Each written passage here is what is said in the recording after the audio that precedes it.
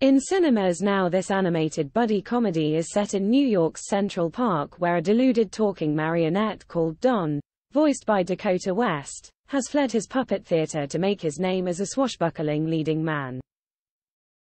On the way, he teams up with adorable battery-operated toy pooch DJ Doggy Dog, Jordan Baird, who has been abandoned by his owner and desperately wants to join a new crew. Don immediately signs him up for sidekick duties and insists on calling him Sancho. When Don gets lost in his delusions, director Jeremy DeGruson switches from slick computer animation to a hand-drawn comic book style.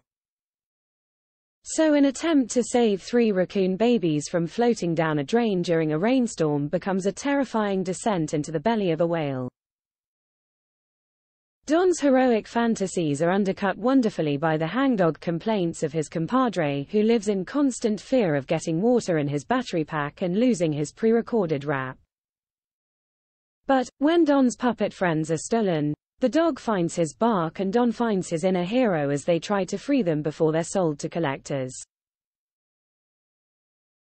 The Inseparables is a simple tale about using your imagination and speaking up for yourself.